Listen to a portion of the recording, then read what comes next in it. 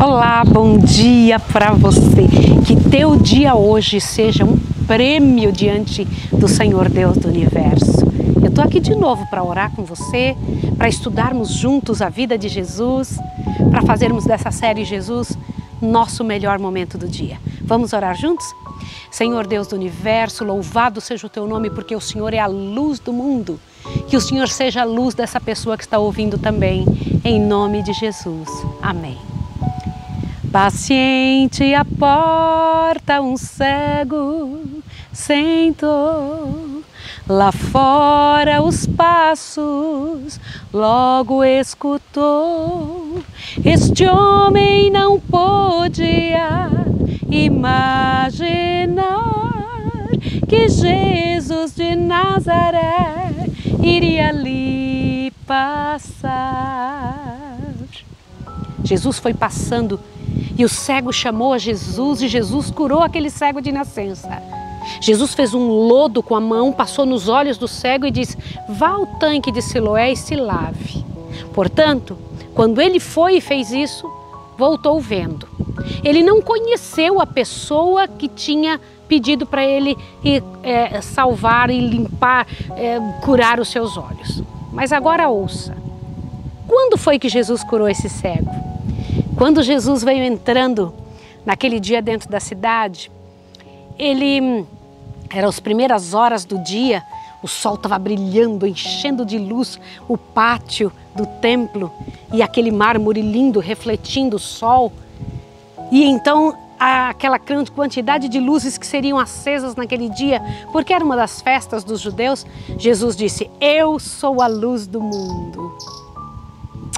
Esta linguagem feriu profundamente o coração dos judeus porque entenderam que Jesus tinha se feito a grande luz do mundo, né? Simeão mesmo havia dito assim: Você Lembra que Simeão que pegou Jesus no colo? Será a luz das nações. O próprio Simeão estava é, é, repetindo aquilo que está em Isaías 49, verso 6, onde diz: Tu serás a luz das nações. João também, ao escrever, diz: Ele era a luz do mundo, ele era a luz dos homens, e os homens refletiam sua luz. Que coisa linda! Na verdade, esta alusão à luz que Jesus disse de si mesmo era mostrando para o mundo, para as pessoas que estavam ali, que ele era o que eles precisavam para iluminar a cegueira do coração. E eles não quiseram aceitar de jeito nenhum. Eles ficaram muito bravos com aquilo, ficaram chateados e disseram: Quem é você para você estar tá dizendo isso? E Jesus disse: Antes de Abraão existir, eu sou.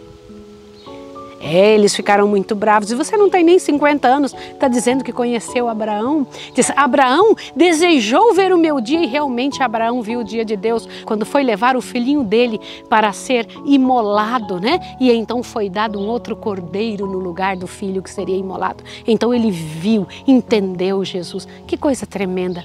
Mas, meus irmãos, quando Jesus disse isso, eu sou a luz do mundo, as pessoas tentaram pegar Jesus para apedrejá-lo e jogá-lo fora. Não sei se vocês sabem disso. Tentaram apedrejá-lo quando ele disse: Antes que Abraão existisse, eu sou. E então Jesus saiu dali, saiu do meio deles, encontrou o cego e curou o cego. E este cego então voltou vendo.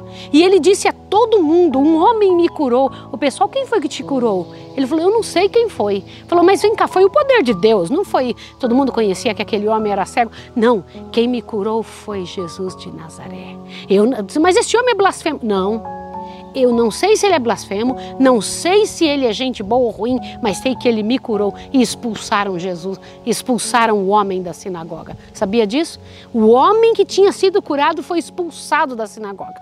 Após ser expulso, Jesus, imbuído pelo Espírito Santo, foi e encontrou o cego e falou com ele assim, muito bonito ver a maneira como Jesus falou com ele.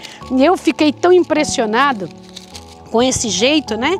Aí olha aqui, ó, presta atenção. Jesus ouviu o que acontecera ao cego e encontrou-no depois e disse: Crês tu no Filho de Deus?